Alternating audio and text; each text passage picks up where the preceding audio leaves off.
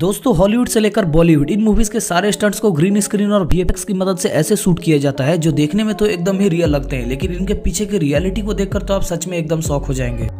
तो आओ यार शुरू करते हैं reality of Hollywood Bollywood movies stunts part three तो सबसे पहले देखते हैं Hollywood movie Avengers end game इस मूवी के लास्ट वाले सीन ने तो सबको हैरान कर दिया था कि कैसे आयरन मैन ने अपनी जान जोखिम में डालकर इन्फिनिटी स्टोन को हाथों में लेकर चुटकी बजाई थी लेकिन इस सीन ने लोगों का दिल जीत लिया था लेकिन रियलिटी में इसे इस तरह से शूट किया गया था कि ना ही उनके हाथ में कोई स्टोन था और ना ही आसपास कोई थेनोस इसे सारे सीन्स को एक वी की मदद से एक रियलिटी में कन्वर्ट किया गया था फिर देखते हैं एक बॉलीवुड मूवी क्रिस थ्री जो लगभग हर बच्चे ने तो एक बार जरूरी देखा होगा जिसमें क्रिस ऊंची इस ऊंची बिल्डिंग के ऊपर बहुत ही आसानी से छलांग लगा देता है और इसी काबिलियत के चलते हर बच्चा क्रिस बनना चाहता था लेकिन असल में ये ग्रीन स्क्रीन की मदद से शूट किया गया था और मूवीज में दिखाए गए पूरे शहर को एक रूम में ही ग्रीन स्क्रीन की मदद से ही रियलिटी में किया गया था